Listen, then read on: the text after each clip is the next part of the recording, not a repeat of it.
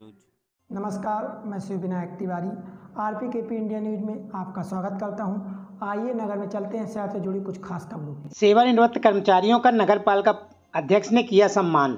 स्थानीय नगर पालिका परिषद में सेवानिवृत्त होने पर राजस्व निरीक्षक श्रीकांत अग्रवाल सहित राजस्व निरीक्षक माखनलाल घाघरे एवं जल प्रदाय हांडिया प्रभारी नियाज खान का नगर पालिका सभागृह में सम्मान किया गया।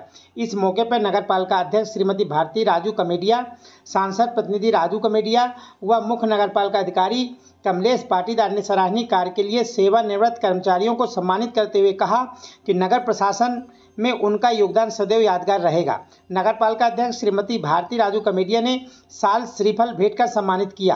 कार्यक्रम में बड़ी संख्या में सामाजिक बंधु तथा नगर पालिका कर्मचारी मौजूद रहे।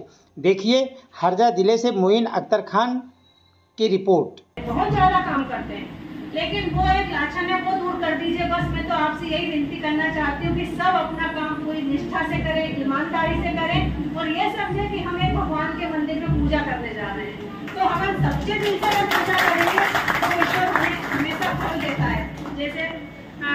भाई साहब आज जा रहे हैं तो मैं तो ये नहीं कहूँगी वो जाएँ, लेकिन उनका दायित्व यहाँ से पूरा हो गया। अब वो उनका दायित्व बनता है अपने परिवार की तरफ़। उनके परिवार, उनके पोते पोती उनको भी बच्चों को भी समय चाहिए उनका।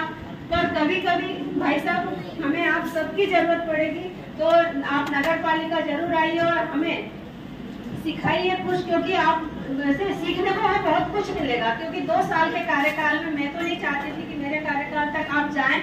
पर जो नियम है वो तो है।